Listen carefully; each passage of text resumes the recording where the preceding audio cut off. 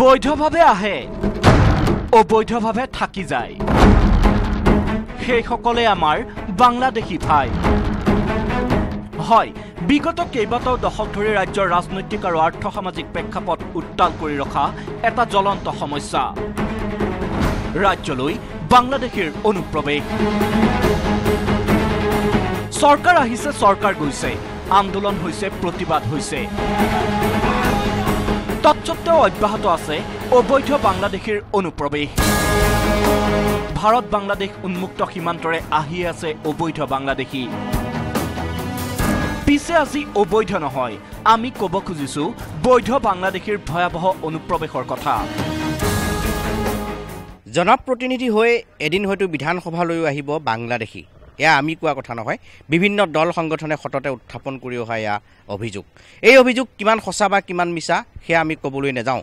কিন্তু বাংলাদেশীৰ আগ্ৰাসন যে এতিয়া ডাঙৰ সমস্যা হৈ পৰিছে বাংলাদেশীয়ে যে আগ্ৰাসনৰ বাবে নিত্য নতুন কৌশল লৈছে সেয়া কিন্তু এতিয়া সত্য। হয় পোহৰলৈ আহিছে এক ভয়ংকৰ তথ্য। অসমত বৈধ হৈছে অবৈধ বাংলাদেশী। বাংলাদেশী আহে উন্মুক্ত সীমান্তৰে নহয় অবৈধভাৱে নহয়। ভিছা লৈ অসমলৈ আহে বাংলাদেশী। কোনোবা আহে ফুৰিবলৈ টুৰিষ্ট ভিছা লৈ কোনোবা আহে ব্যৱসায় কৰিবলৈ ট্ৰেড ভিছা লৈ তেওঁলোক আহে কিন্তু ঘূৰিহে নাযায়।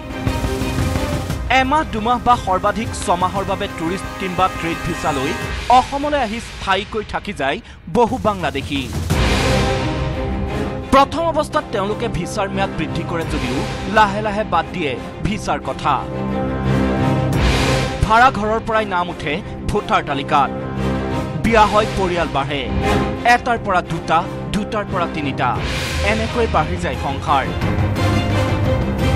ব্যৱসায়ৰ উদ্দেশ্য নতুবা ফুৰিবলৈ আহি অসমত স্থায়ী হৈ পৰা বাংলাদেশীৰ বৃহৎ তালিকাৰ আজি আমি দিওঁ মাত্ৰ কেইটামান উদাহৰণ। মহম্মদ ৰচিদ ফিৰদৌছ। ভিছাৰ ম্যাদ দুহেজাৰ পোন্ধৰতেই শেষ সুজন কৃষ্ণ ৰয় ভিছাৰ কোনো তথ্যই নাই। শ্বাহিনুৰ ইছলাম তথ্য নাই ভিছাৰ ম্যাদৰ।